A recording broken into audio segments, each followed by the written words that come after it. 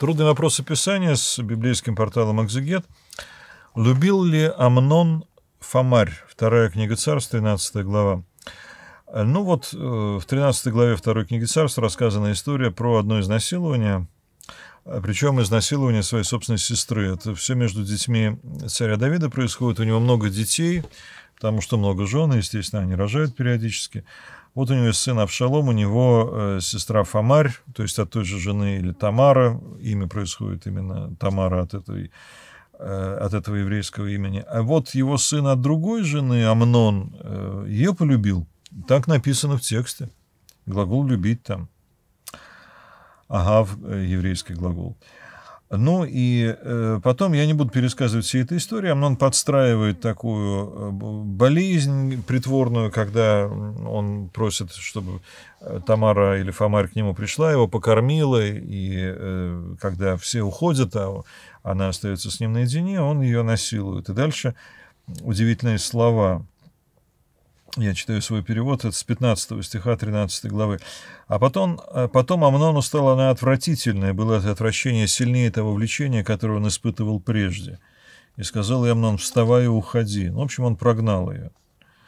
Так вот, э, ну, наверное, все назовут это не любовью, а каким-то другим чувством, да? Там похотью, желанием обладать. Почему Библия называет это любовью? Он полюбил ее. Вот что, когда любят, то насилуют и прогоняют? Это любовь такая, да? Тот же самый глагол «любить», э, древнееврейское слово «агава», используется там, где идет речь про любовь к ближнему или любовь к Богу. Как это можно? Нужно как-то другое, наверное, слово найти. А вы знаете, прежде чем ответить на этот вопрос, я бы задался другим вопросом. А любил ли э, сестру э, Тамару Авшалом, ее брат? Ну, кажется, любил. Э, смотрите, он ее встречает, вот тут дальше, в 20 стихе той же главы. Ее брат Авшалом спросил ее, уж не брат ли твой Амнон был с тобой? Да лучше молчи, ведь он твой брат, не принимает его к сердцу. Изнасилованной сестре такие слова сказать, да? Это любовь? Но, с другой стороны, Тамара стала жить в одиночестве в доме своего брата Авшалома. Она обесчищена, ее замуж уже никто не возьмет, но брат о ней заботится.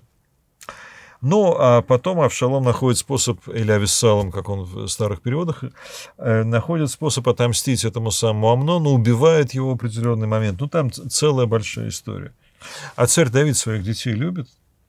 Когда царь Давид услышал об этих событиях, он сильно разгневался. И его сын изнасиловал его дочь. Вообще-то на месте отца я бы как минимум поговорил – да? То есть я думаю, что, наверное, что-то еще нужно было бы сделать. Но э, он сильно разгневался, и все.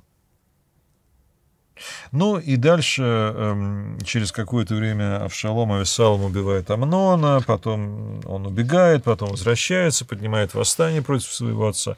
Ну вот такая история дворцовых переворотов и всего остального. А где здесь любовь? Любая семейная жизнь не идиллия. Везде есть соперничество, везде есть скандалы, непонимание, злоба, вражда, но не до такой же степени. То есть это какая-то прям семья уголовников и алкоголиков, да, где э, братья и сестры друг друга насилуют, убивают, а отец вообще никак не может с этим э, справиться и никак на это на все не реагирует. Кто здесь кого любит? Такое ощущение, что никто никого. Но, смотря что мы называем любовью, вот э, смотрите, с самого начала э, в, этой, в этой 13 главе сказано, его полюбил сын Давида от другой жены Амнон. Вот полюбил как? Ну, как люди любят выпить, как люди любят, я не знаю, там, развлечься, да? То есть получить удовольствие, ему приятно получить удовольствие от этого процесса. Вот это его понимание любви. А потом Авшалому, брату э, Фомаре, приятно получить удовольствие от процесса мести. А Давиду, царю, вероятно, неприятно было бы лишать себя удовольствия от общения со своими детьми, даже если эти дети друг друга насилуют и убивают. Поэтому он относится к ним довольно безразлично. Горюет из-за смерти Амнона, потом, потом и Авшалом Авессалом погибает, подняв восстание. Но э, вот получается, что любовь в этой главе — это желание обладать. Это желание все взять себе и ничего не отдать другому. Желание потешить свои чувства, будь это э, похоть сексуальная, будь это э, чувство мести и злобы, будь это, допустим, ну вот какое чувство могло быть у Давида в ситуации, когда он ничего не говорит? Ну, желание, чтобы все было гладко, вот нежелание замечать какие-то неприятные истории, даже свой гнев он никак не проявляет. И э, получается, что словом «любовь» могут называться очень разные вещи.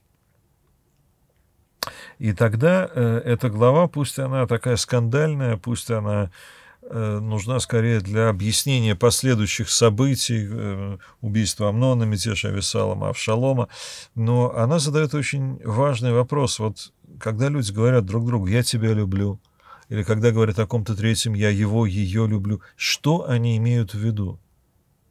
Я хочу взять все от жизни, хочу насладиться, получить удовольствие, мне понравится это. Или э, я готов что-то сделать, чтобы ей, ему было хорошо. Вот не всегда люди задумываются, а нам тоже не задумывался. Может, потому эта история сюда и вошла. Внеси свой вклад, оцени, подпишись и поделись этим видео.